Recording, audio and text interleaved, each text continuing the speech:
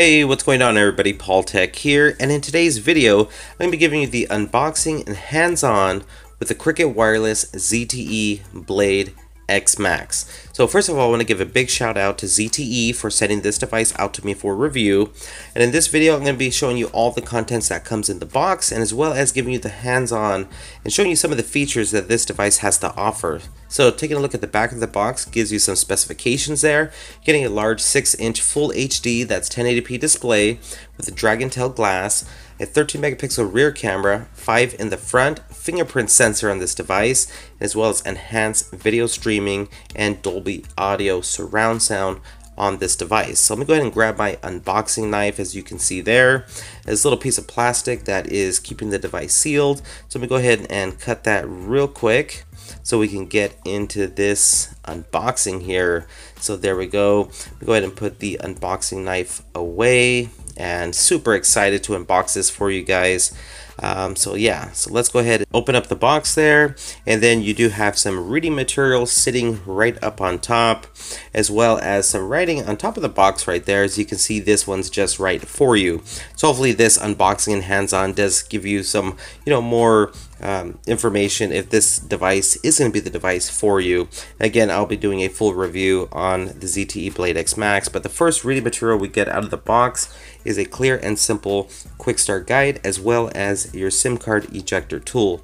Now I gotta say, this is probably one of the detailed, most informative pamphlets I've ever seen um, coming out of a box of a device. I mean, it just gives you so much information, which is great. I mean, this might be your first smartphone, and this pamphlet will basically give you a lot of information. So moving on from that, we have the device sitting right beneath there. As you can see, packaged nice. You got this nice plastic sleeve uh, covering it. I'm to place the device to the side, go through the rest of the contents, and then we'll come back to it. So opening up the second portion, you are presented with your Cricket Wireless SIM card. Now I won't be using this because I already have a account with them, so I'll be using my own SIM card as well as a product safety and warranty information, which is pretty standard, and as well as a terms and condition uh, booklet there. Going to place that off to the side as well.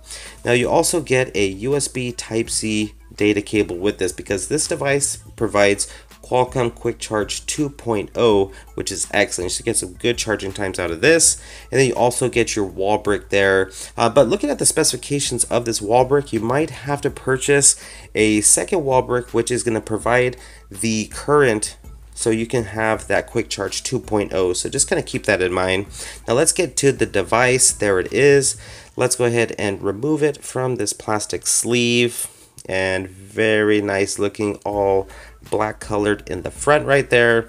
Um, you got some ZTE branding up on top, 5 megapixel front facing camera.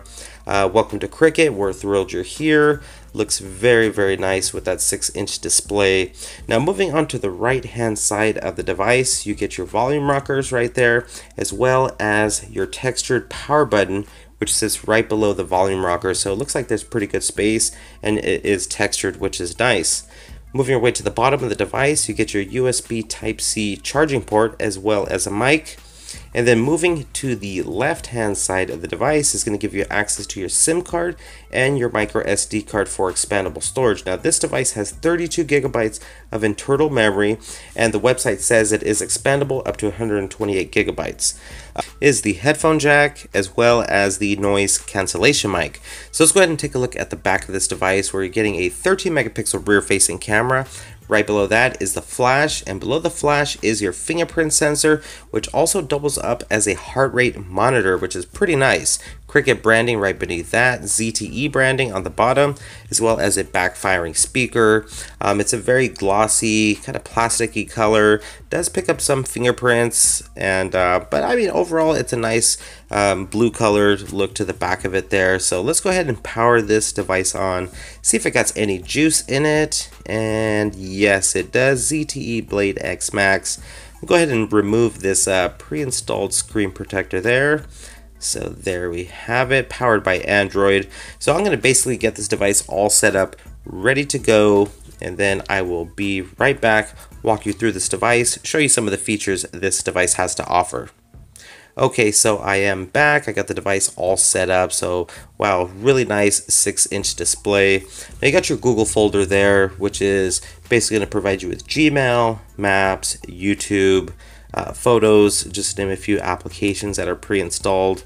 Uh, moving on from there, let's jump into the messaging application because always in my unboxings and first impressions and hands-on, I show you the keyboard, the emojis that are pre-installed on this device. So it looks like you got a little search option there in the keyboard, which is a pretty nice feature. And then moving on from there are the emojis, as you can see. And um, I'll kind of go through a couple of these different uh, options you have here. Let's go to the next one there. So, and then you also got some options on the bottom there as well. So pretty nice looking keyboard. And let's move on from there, see what else we got. So you got some uh, pre-installed Cricket application. You got Deezer, Amazon. Let's jump into the app drawer here and see what pre-installed applications we have. Now you also got a option here in the app drawer where you can search for specific applications, which is pretty nice. Um, so let's go ahead and go further down. So you got Dolby Audio on this device. So very, very similar to like the ZTE ZMAX Pro. So you get Dolby Audio, kind of give you a sample here. Go ahead and increase the volume so you can kind of hear um, how good the performance is with that backfiring speaker. So moving on from there, you also get FM radio on this device. And um, let's see what else we got here. Um, yeah, you know, you got some just some pre-installed Cricket applications, nothing big. Uh, holding it down on the home screen there, you do get your different wallpapers. Now, what I like about this is you can actually change the lock screen wallpapers and the home screen wallpapers all just in the same page right here, which is really nice. You don't have to jump around into settings. You can do it right there on the home screen, which is pretty nice. And you get some pretty, you know, nice, vibrant looking uh, pre-installed wallpapers. You also get access to your widgets just by long pressing on the home screen. You got two different themes there. You got the stock Android theme and then a sports theme. You also get another option in home, which is a way you can change the transition effect in your home screen, which I really like the customizable features you are getting on the ZTE Blade X Max. So moving on from there, I mean, even though this is a pretty large device, I mean, I can still reach the top notification bar, the status bar there. So depending on the size of your hands, you can actually kind of use this one-handed, but um, if you have smaller hands, this will definitely be a two-handed device. So pulling down the status bar there, you do get access to Wi-Fi, Bluetooth, mobile hotspot. Um, you can edit this as well, so you can kind of rearrange these quick toggles to your liking. Got data saver there nearby. Uh, let's jump into settings now. And one thing I want to mention is that this device does not have NFC, so you're not going to be able to do Android Pay or Android Beam. So just kind of keep that in mind. Moving on to display, you got adaptive brightness on this. Um, you can have the battery percentage showing up on top there. You also have an option to press the power button twice to launch the camera ambient display, change the font size, change the display size as well, pulse notification light. So you get a lot of great features here in the settings. So let's go ahead and scroll down and see what else we see here.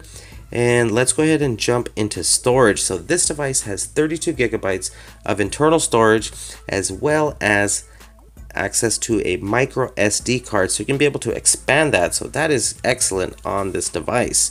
So navigation key so you can kind of rearrange these. I personally like the back button on the right hand side. Um, so let's go ahead and move on to the fingerprint sensor and then I'll show you how easy it is to register your fingerprint. Um, it's really really simple. All you got to do is just press uh, up and down on the back right there. And it's a very very simple process as you can see here. Just scan different portions of your fingerprint there and it is basically done. You're good to go. And you can actually register up to five fingerprints on the ZTE Blade X Max. And the fingerprint sensor is actually pretty fast in my opinion.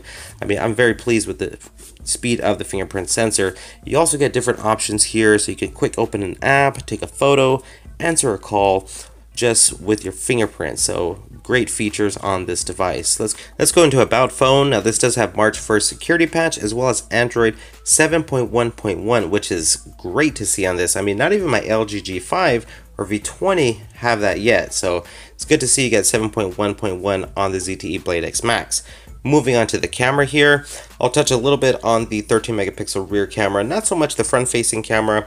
I'll go into more detail in the full review, but just want to show you some features here. You are getting manual controls on this device, which is great. You can be able to control like the white balance, the ISO, the shutter speed. So you're to get some good features in the camera department. I mean, very, very similar to the ZTE Z Max Pro. Um, recording. So another feature I like is the fact when you are recording a video, you have the option to take a photo while recording, which is great. You can also pause and then resume recording, which is a nice feature. I know there's some smartphones out there that don't offer that. Um, you also get time-lapse mode on this device and going into video quality there, you can record in 1080p resolution. Um, you got geotagging on this as well. And then you got some different filters to choose from. So, you know, you can have some fun with your photos. And again, in the full review, I'll go into more detail about the camera, low light, and everything like that. So I know a lot of us are thinking about picking this device up for media consumption, whether you like to watch Netflix videos, YouTube, because this has a big 6-inch display. And I gotta say, the display looks beautiful. It's a 1080p resolution display. YouTube videos are gonna be able to watch in 1080p at 60 frames per second, so you get good viewing angles on this device. Um, audio sounds good, even though it's a backfiring speaker, uh, it does produce some good audio. So I gotta say, you're gonna have a pretty good media consumption experience, and with the screen real estate you're getting, it's going to be great. So there you have it. There was the hands-on unboxing of the ZTE Blade X Max. So definitely stay tuned for my full review in about a week. Um, but I thank you for watching. Please hit that thumbs up button if you did enjoy, and please subscribe for more future videos. This is Paul Tech, and I will talk to you on the next one.